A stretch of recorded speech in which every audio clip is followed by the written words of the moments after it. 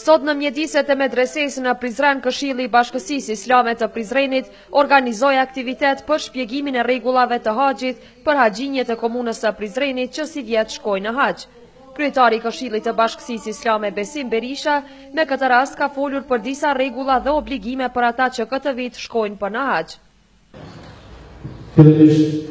dëshirojmë dhe bëjmë dua lutje që këto momente që po kalojmë këtu të jenë të frytshme, bereqetshme, pasi që unë e thua më herë që të të mbahet një lloj trajnimi rreth rregullave parimore të haxhit, pak a shumë me pas parasyve, ose edhe me detaje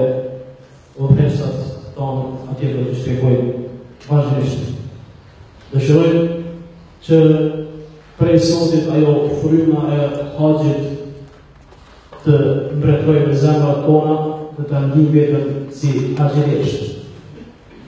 Dashtë Zoti që të shkoni mirë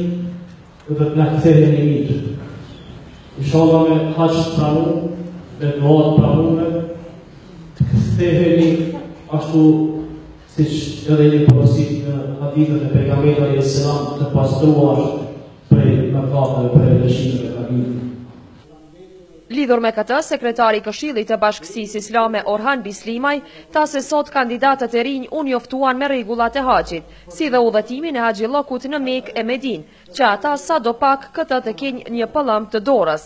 Ngase ky aktivitet është udhëtim specifik me qëllime të caktuara dhe është që njëri nga kushtet e Islamit, Dhe ideja është që sado pak të mundohemi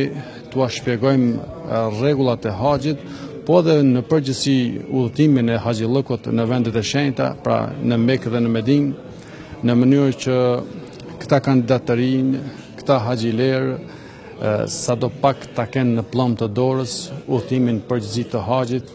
meqë bëhet fjalë për një udhëtim të jetës, udhëtim specifik, nuk është udhëtim turistik, siç disa pretendojnë ta quajnë, por është udhëtim me qëllim të caktuar, në vende të caktuara, në këtë rast në Mekë dhe në Medinë për ta kryer ibadetin e haxhit, që është njëri prej kushteve të fesë islame. për të gjithë besimtarët islamë të cilët kanë mundësi. Sivjet prej Këshillit të Bashkësisë Islame të Prizrenit, udhëtojnë 190 haxhi, 150 janë qytetarë të rëndomtë, ndërsa 4 prej tyre janë udhëheqës që do t'i shoqërojnë në vendet e shenjta dhe do të jenë ditën e natën bashkërisht me ta Që t'ua shpjegojnë rregullat se si kryhet haxhi. Po ashtu bashkë me ta do të jenë edhe ekipi i mjekëve që do t'i shoqërojnë eventualisht për raste emergjente, që t'ua japin ndihmën e parë, ndihmën e shpejtë dhe të kujdesen për diagnostifikim të matutjeshëm Pra që të kujdesen në aspektin shëndetësor, besojmë që Bashkësia Islame e Kosovës,